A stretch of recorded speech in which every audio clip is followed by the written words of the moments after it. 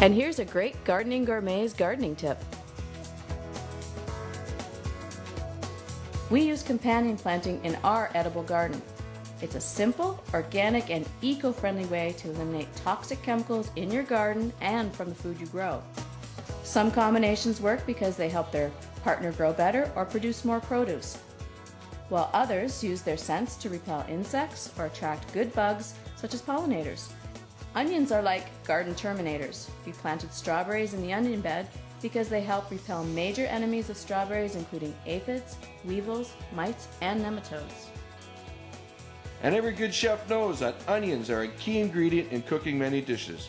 Up next, from our garden, I'll be using strawberries, shallots, and Thai basil to make a tasty vinaigrette. Every night, David goes out in the garden and picks his fresh herbs and vegetables, and he just whips up a meal just out of his head, just like that. And it's really like eating in a five star restaurant every night. Today, from our garden, we're using strawberries and honey to make a three course meal. First, we're going to start with a strawberry Thai basil balsamic vinaigrette over mixed greens, garnished with heirloom tomatoes from our garden. Then we're going to have a strawberry rhubarb compote over roasted duck. To finish off, we're going to have a lavender honey creme brulee with chocolate dipped strawberries. So let's get started. So we're going to saute off and sweat off a little bit of shallots, about a teaspoon of shallots. So here we're making our compote, strawberry rhubarb compote.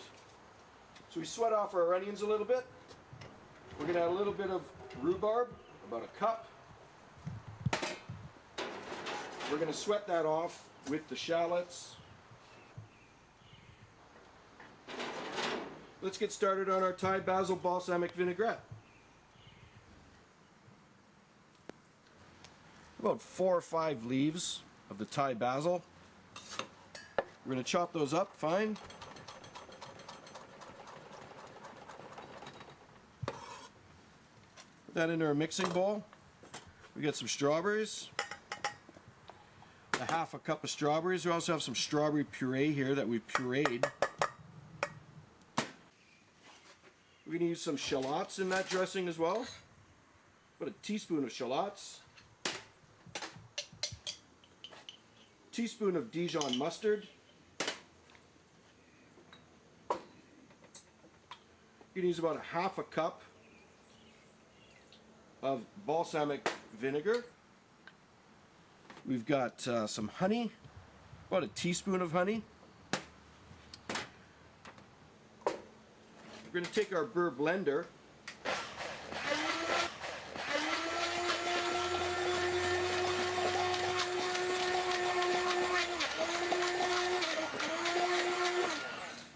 We're mixing that up, then we're going to emulsify in. You have to add slowly your oil.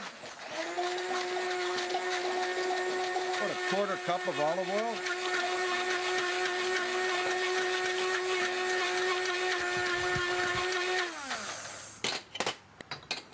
We're going to add a little bit of vegetable oil as well.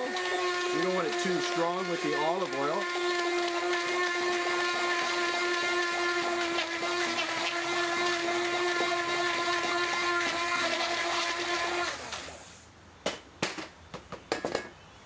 I'm going to season that with salt and pepper.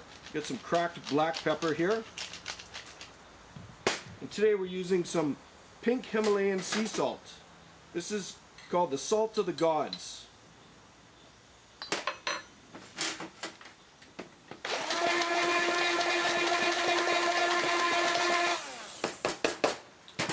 So our rhubarb is cooking and sweating off. Just trying to soften that up a bit. To add our strawberries. Maybe about a cup.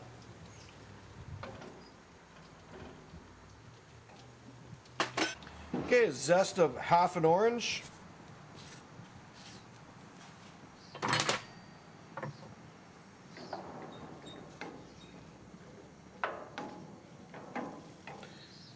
Gonna add about half a cup of port wine. And of course our honey. About a tablespoon of honey. We're going to set that aside and let that reduce down. So we got our mixed greens. picked from the garden. Senga picked those today. We've crisped those up in the fridge, washed them, put them in the refrigerator so they'll crisp up. We've got our heirloom cherry tomatoes. We've got some yellows, some reds. We've got our strawberries for garnish. And we're also going to put some pine nuts in there.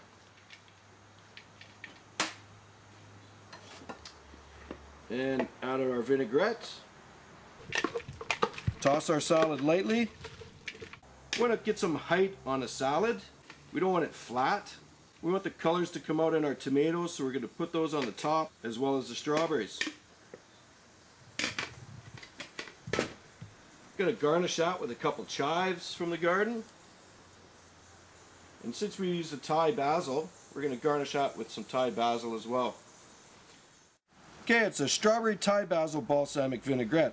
We've got a half a cup of strawberries, four or five Thai basil leaves, two tablespoons of honey, half a shallot, one teaspoon of Dijon mustard, two tablespoons of balsamic vinegar, a quarter cup of canola oil, and a quarter cup of olive oil. As well here we've got our lavender honey creme brulees that have just finished up in our double boiler. We're going to set those aside to cool. And let's get started searing some duck breasts. Got a very hot pan.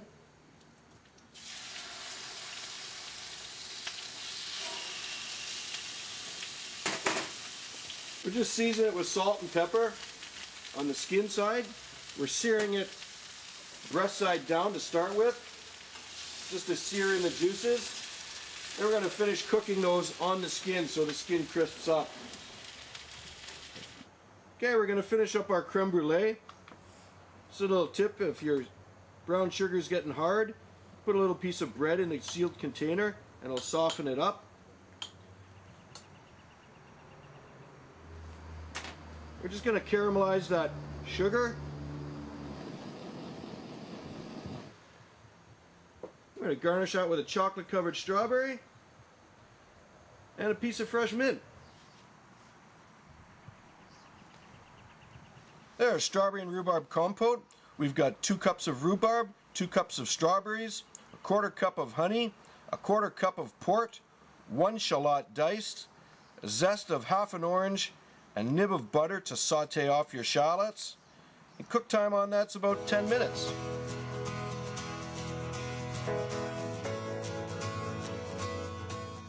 Next time on the Garden Gourmets, we're talking tomatoes. Everything from beefsteak to heirloom, tomatoes in pots, hanging upside down, and even climbing a trellis. I'll show you how to make a no-cook pasta sauce and a spicy salsa. Check out our website for more great gardening tips and all our gourmet recipes. Until next time, Bon bon appetit. appetit.